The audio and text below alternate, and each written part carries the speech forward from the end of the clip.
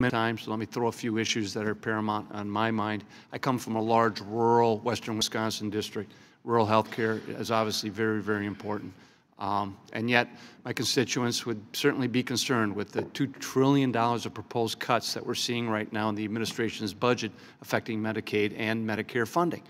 You know, in the last eight years, we've lost 83 rural hospitals. There are over 700 that are listed on the very vulnerable list right now. They're all operating on a very uh, thin margin.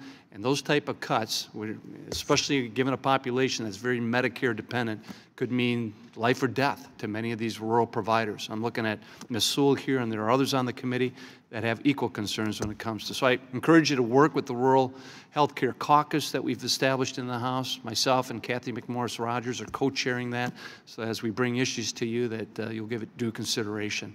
Um, but I also uh, want you to keep an eye on uh, Indian Health, very important programs. I come from Indian country myself too and work very closely with them. That's another important area of jurisdiction.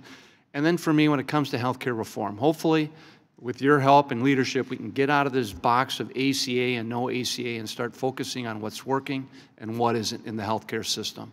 And one thing that I see working in my own backyard are healthcare providers with wonderful models of care. I'm, I'm, talking about the Gundersens, the Mayos, the Marshfields, the Aurora, the ThedaCares that go to an integrated, more coordinated, more patient-centered healthcare model, producing great results, embracing that type of model where we need to drive the healthcare system today.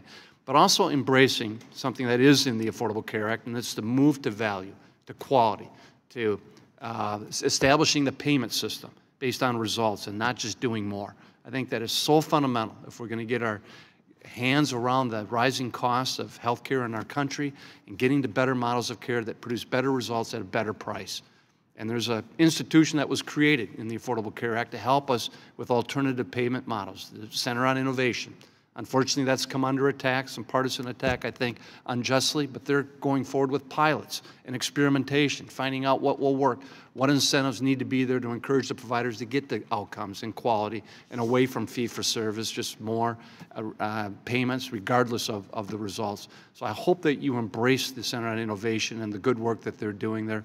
Certainly, you know, reforms and modifications are in order, but there is, contrary to a lot of the political rhetoric, a lot of important things in the Affordable Care Act that will be crucial to getting us to a better outcome and a better payment system within the health. And also, uh, being from the drug industry yourself, hopefully you're going to be able to provide insight on what we can do working together to address the rising cost of prescription drugs, which is one of the main cost drivers in the healthcare system. So we look forward to working with you in the future. Thank you, Mr. Chairman. Thank you, Mr. Kind. Mr. Martin, you're recognized.